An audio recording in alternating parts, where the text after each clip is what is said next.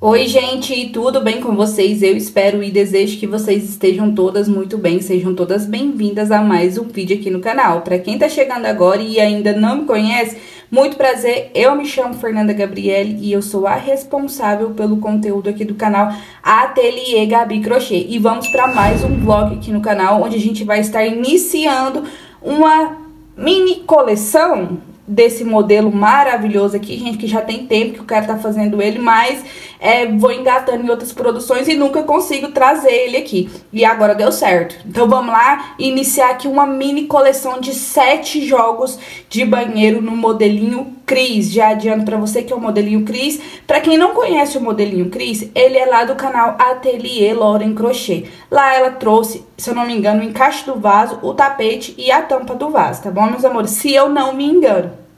É, eu hoje, é, com o decorrer do tempo, já não preciso mais estar assistindo a videoaula, tá? Mas sim, gente, quando eu iniciei no crochê, eu aprendi a fazer um modelinho espiral. Até então, quando eu iniciei, eu já fazia outros modelos, mas nunca tinha tentado fazer esse modelo espiral.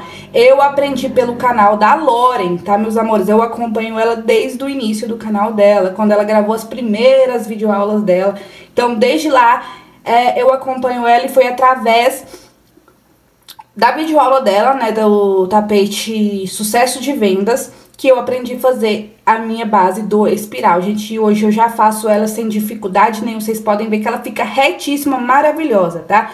Então, esse daqui é o nosso primeiro de sete jogos de banheiro, tá? E depois eu quero ver se eu consigo tá trazendo aqui pra vocês todos esses jogos juntos, mas eu não tô prometendo nada, tá? Tô falando somente que eu vou ver se eu consigo fazer isso. Porque vocês sabem que aqui pra mim é, eu consigo vender bem, né? Conforme eu vou divulgando o meu trabalho, eu tenho sempre é, uma boa vendas, tá bom? E aqui vamos chegar de enrolação, embora falar do que interessa, que é o nosso as cores, né, que a gente vai trabalhar nesse modelinho aqui, bora lá? Então, na minha base, eu utilizei a base de florzinha, tá bom, meus amores? Muitas meninas me perguntam como que eu faço pra fazer a base de florzinha e pra ela ficar bem fechadinha assim. Gente, eu tenho uma videoaula dessa base de florzinha aqui, tá? Vou deixar na descrição do vídeo o link do passo a passo dessa base, tá? Porque lá na videoaula vocês podem assistir e entender melhor como que faz, né, pra, pra ficar bem assim, fechadinha. É, e aí o tapete é o tapete Cris lá da Lore. Eu já passei aqui quatro carreiras no cru, eu utilizei o cru da Euroroma, tá? Eu trouxe aqui pra vocês um vlog da minha hora extra trabalhando com essas bases, então eu mostro pra vocês. O cru tá lá pra sala, tá em outra produção já, tá bom? O meu multicolor, já vou falando no início do vídeo, que é o sereia da Barroco e o meu verde é o gramado, também da Barroco, certo? Eu passei quatro carreiras em cada base do cru. Eu utilizo uma base para os meus dois tapetes menores com sete florzinhas, tá? E uma base do meu tapete maior com nove flores.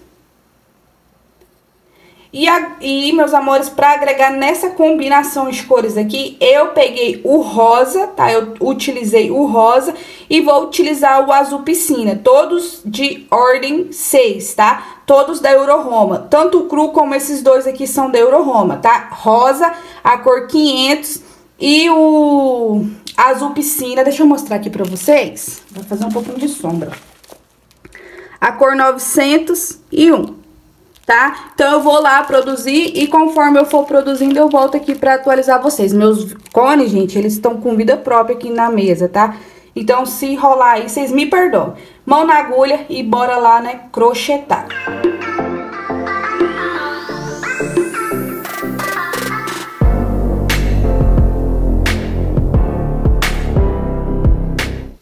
Voltei aqui, meus amores, para atualizar vocês como anda aqui a nossa produção, gente.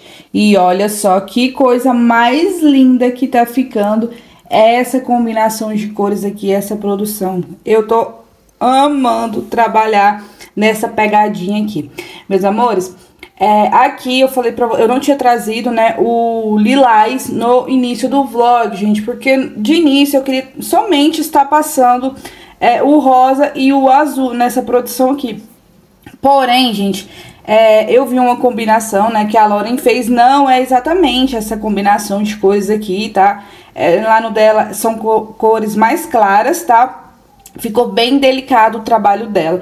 E aí, gente, eu não tinha as cores, então eu dei um meu jeito aqui, né? A gente tá trazendo é, da minha forma, tá? Do meu jeitinho eu inverti algumas carreiras, tá? Ela inicia com rosa, que eu já iniciei com lilás, né? Que é a cor mais clara pro mais escuro. Gente, deixa eu mostrar aqui pra vocês. Esse lilás é esse aqui, ó, da Euro Roma. Maravilhoso, tá? Esse lilás, ele é bem vivão, bem forte, tá? Maravilhoso. Então, aqui é, eu tô com as minhas três peças, tá? Eu tô com essas duas peças aqui bem mais adiantadas. Aqui nessas duas só falta o bico de acabamento, tá? Essa daqui falta fazer mais três carreiras e o meu bico de acabamento. Então agora eu vou dar continuidade aqui na minha produção, tá? Eu só vim atualizar vocês, contar o meu material tá aqui, ó, vocês podem ver que eu quase nem mexi neles ainda, né? Agora eu vou tá é, finalizando, eu acho que eu vou finalizar no azul, vou fazer uma carreira teste, e aí depois, se der tudo certo, eu dou... É, eu prossigo, né, com a produção. Se não, eu venho aqui e passo uma carreira teste nesse no azul, uma carreira teste nesse no rosa e uma carreira teste nesse daqui no lilás, tá? E o que ficar mais legal vai ser o que eu vou fazer o bico de acabamento.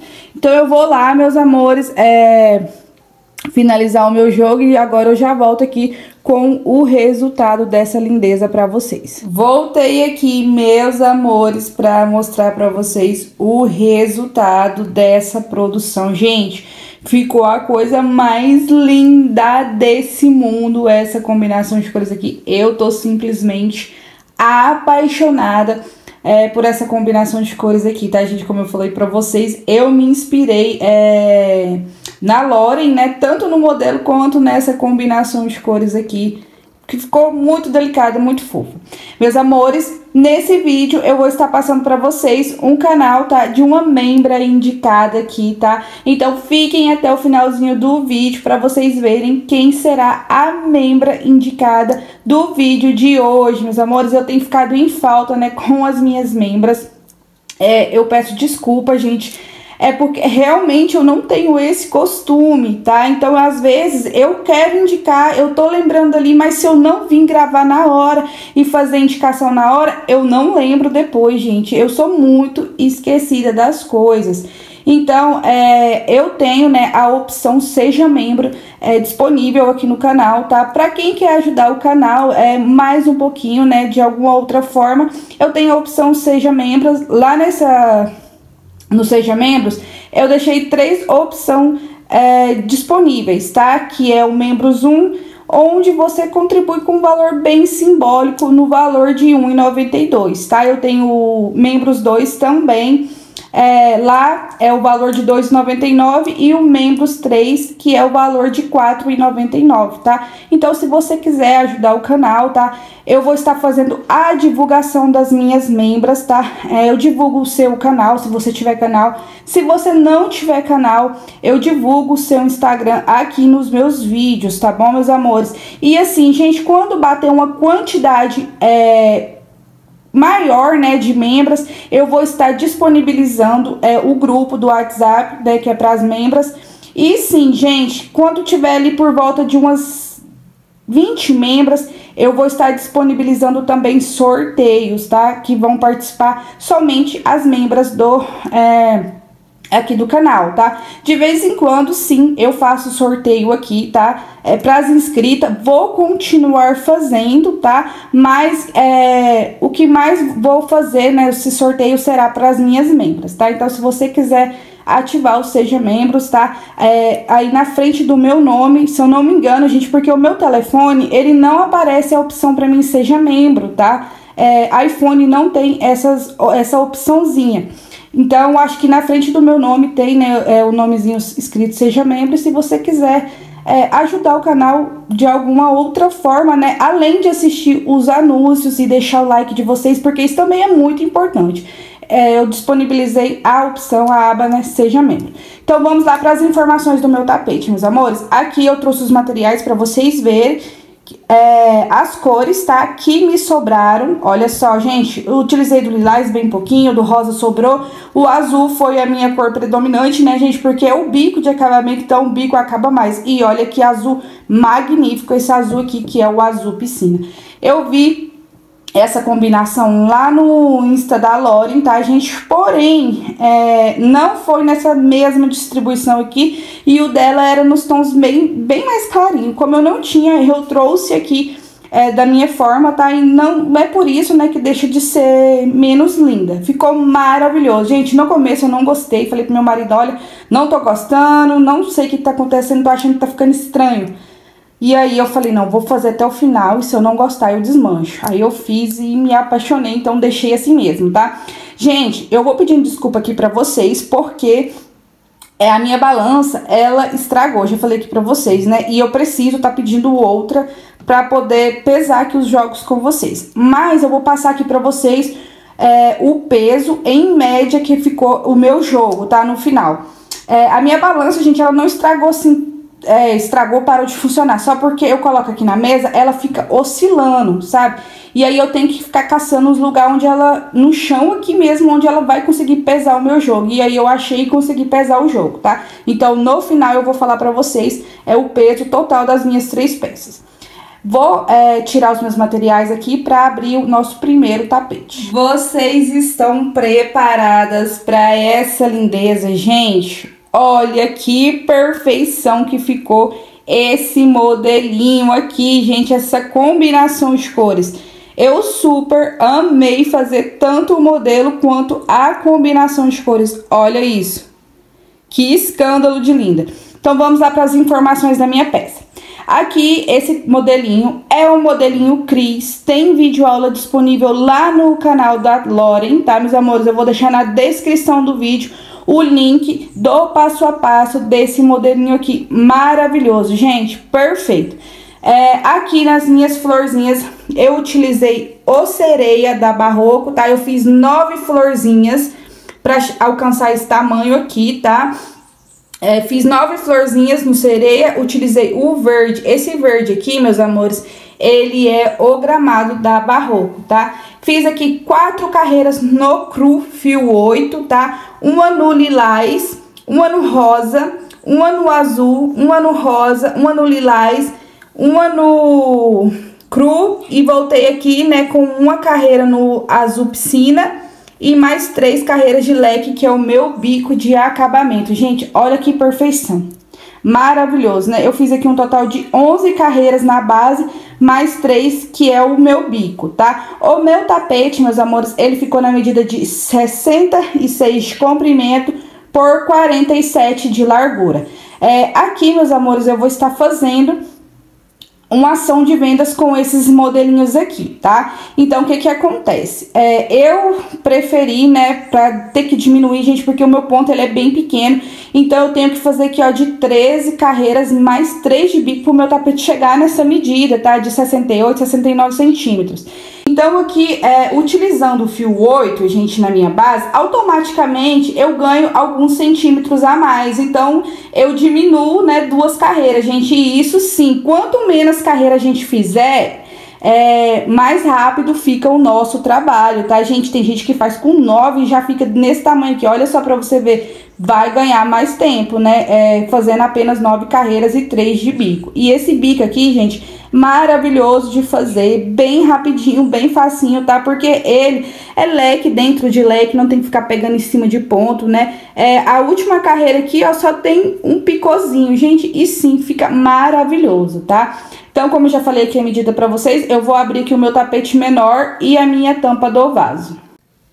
Gente, e olha que fofurice que ficou a nossa redinha da nossa capinha da tampa do vaso, muito linda, né? Aqui, meus amores, eu vou começar falando aqui primeiro do nosso tapete menor, tá? Eu fiz ele com a mesma quantidade de carreiras da tampa do vaso, tá? A mesma quantidade de florzinha, a única diferença é que a tampa do vaso tem a redinha, tá? E esse daqui não tem. É, aqui, meus amores, eu fiz a mesma quantidade de carreiras do tapete maior em todos, tá? Eu fiz com 11 carreiras de base e 3 aqui, ó, de bico de acabamento, tá? eu fiz com sete florzinhas. Eu também tenho uma videoaula dessa florzinha disponível aqui no canal, tá? Vou deixar na descrição do vídeo é, a videoaula de como eu faço a minha base de florzinha. Fiz aqui quatro carreiras no cru, um ano lilás, um ano rosa, um ano piscina, um ano rosa, um ano lilás, um ano cru e fiz quatro carreiras aqui para finalizar o meu bico de acabamento no piscina, gente, e olha que perfeição que ficou. Ficou muito lindo, né? Na medida de 62 centímetros de comprimento por 47 de largura. E aqui a minha tampinha do vaso, tá? Com sete florzinhas também, com 11 carreiras de base e o meu bico de acabamento. E eu fiz essa telinha aqui, gente, que ela é muito econômica. Gente, eu gastei 28 gramas pra fazer essa telinha aqui, ó. É, como eu estou dando preferência pra fazer essas peças aqui pra estar fazendo ação de vendas, então, gente, sim é, eu faço ela bem mais econômica, tá? Eu gastei 28 gramas aqui, como vocês podem ver. Eu tenho uma videoaula, tá? É, da tampa do vaso do tapete Madu, onde eu faço essa redinha. Então, lá na videoaula, gente, eu explico bem certinho pra vocês. Vocês, através daquela videoaula, conseguem agregar essa videoaula, é, a, a redinha tá em qualquer peça de vocês. Eu começo aqui, ó, com 10 correntinhas de separação, tá? Trabalho ela toda com ponto alto duplo. Começo com 10 correntinhas de separação, pulo 10 de base e no 10 primeiro faço um ponto alto duplo. E assim eu vou trabalhando, tá? A minha diminuição é de 2 em 2, tá? 10, 8, 6 e 4. Gente, ela fica assim. Faço um cordão de correntinhas com 40 correntinhas para cada lado para fazer a minha amarração, tá, gente? E ela também ficou na medida de 62 de comprimento por 47 de largura. Agora eu vou colocar aqui o meu jogo, tá? Para falar para vocês o valor que eu vou estar vendendo essas peças e o peso que ficou pesando o meu jogo com três peças. Gente, e olha só que fofurice total que ficou esse jogo, muito lindo, muito lindo.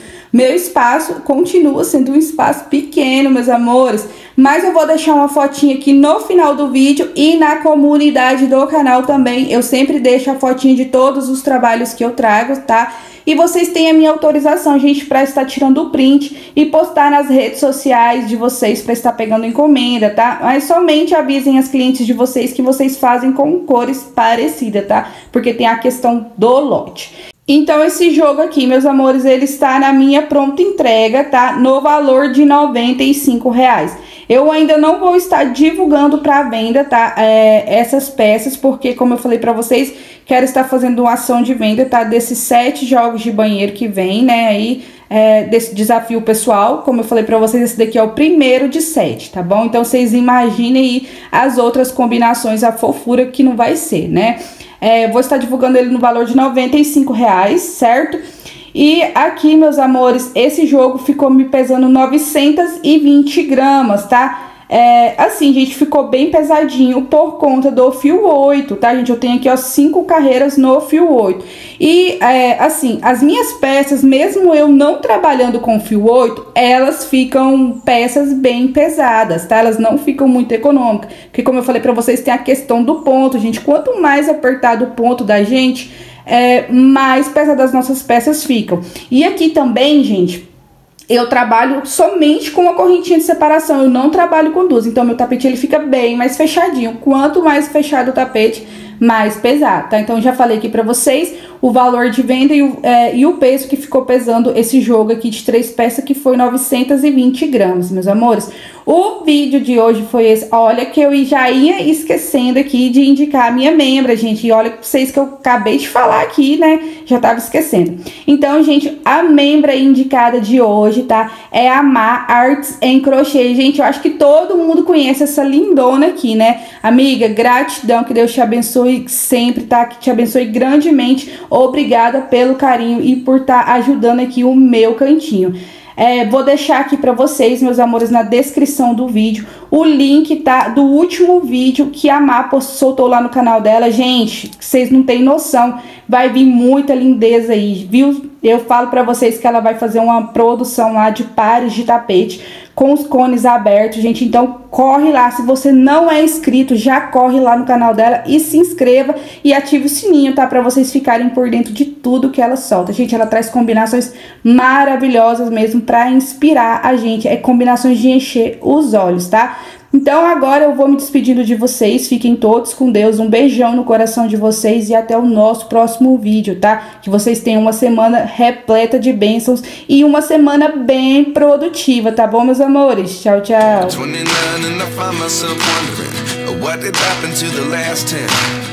ran away with my